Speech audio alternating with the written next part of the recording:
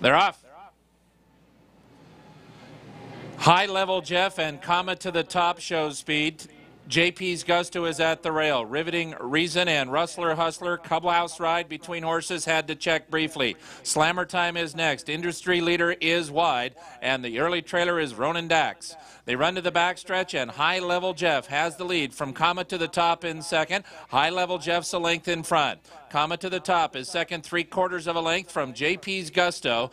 Rustler Hustler between horses and a three wide riveting reason. Then comes Industry Leader, sixth and about four from the front. Slammer Time is in seventh, and a length to Gourmet Dinner, eighth and about eight lengths behind. Clubhouse Ride is second to last with nine to make up. Ronan Dax is the trailer. There's a half mile left to run in the 30th. CashCall Futurity High Level Jeff is the leader at the half mile marker. Just a half length advantage on Comma to the top in second. Industry leader runs out outside of Riveting Reason. Between horses goes at the rail goes JP's Gusto. Then comes Gourmet Dinner. He's got a chance. Slammer Time is seven from the front. Ronan Dax. Clubhouse Ride is the trailer and Comma to the top has made the lead. At the quarter mile marker in the futurity, Comma to the top is suddenly three and a half lengths in front, and Comma to the top is running away at the top of the stretch. Riveting Reason has emerged into second, and to the outside goes Gourmet Dinner, but Comma to the top is dominating past mid-stretch.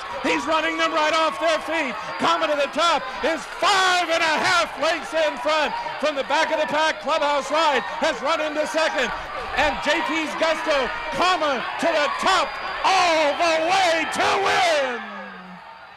The 30th CashCall Futurity goes to a consummate professional. Comma to the top, beat JP's Gusto. It is close for third, Clubhouse Ride and Gourmet Dinner.